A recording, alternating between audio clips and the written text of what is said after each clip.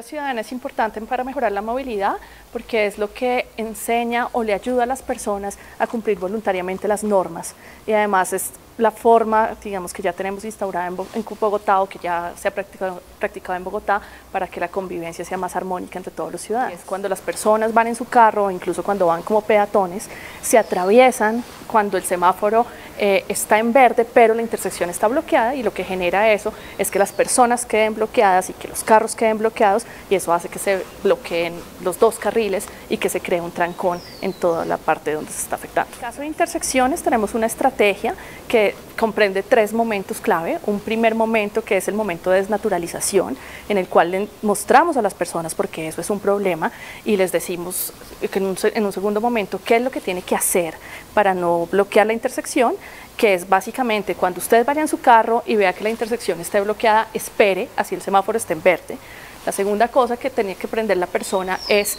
si usted va en su carro y el semáforo está en amarillo, no acelere para pasar. Si está bloqueado, espere, pare y espera el siguiente semáforo. Y en el caso de los peatones, algo muy importante que es si el semáforo está en rojo para usted, no se pase. Así vea que esté bloqueado y puede pasar. Eso en tema de vehículos. Y eh, hay un tema muy importante, que es el tercero, que tiene que ver con las luces de parqueo y es en el momento en que usted vea que no puede pasar y los de atrás le empiecen a pitar para que usted se pase, ponga sus luces de parqueo y con eso le avisa a las personas que están detrás que hay algo en la intersección y por eso usted no puede pasar más adelante. Los peatones son una parte fundamental de la movilidad en Bogotá, incluso en esta parte de intersecciones, a pesar de que uno piense que solamente tiene que ver con carros, porque en el momento en que se para la intersección y en que hay un bloqueo, las personas se pasan